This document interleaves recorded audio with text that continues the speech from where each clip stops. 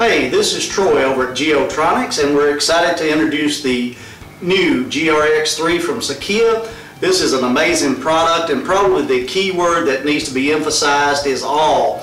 You're getting all signals, all constellations, and everything comes in a small package. Uh, so it's got the fenced antenna with 226 channels. It has uh, signal scrubbing capability to help with multipath. Also, it has a digital UHF-2 radio, and we're experiencing range typically of around four miles and sometimes even better.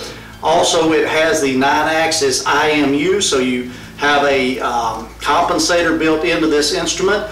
Uh, so when the rod is leaning or tilted, it gives you the correct reading. It especially comes into play when you're staking out points. As you're staking with this receiver and the tilt sensor active, basically uh, as you walk into the point, the unit is reading at the rod tip. So you don't have to level up and step in. You're reading live. Even if the even if this is tilted, you've got the correct reading at the point when you stand it up, it's the same reading as if it was leaning here. So very much time savings in stakeout, maybe three to five seconds per shot. I want you to go to the website, check it out, call us at uh, 931-614-0784 and maybe get more details or email us at sales at geo-tronics.com and we'll be glad to assist you and tell you more about this amazing receiver.